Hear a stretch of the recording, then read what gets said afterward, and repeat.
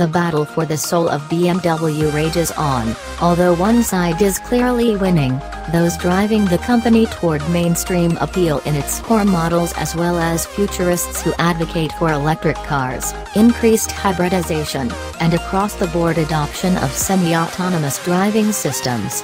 The other side is aligned with BMW's once frenetic core, the ultimate driving machine faithful, dedicated to fine-tuning several thousand pounds of metal and rubber and passion to respond as if it were hardwired to your brain.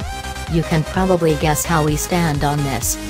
Into this vortex rolls the 2017 BMW 330i sedan.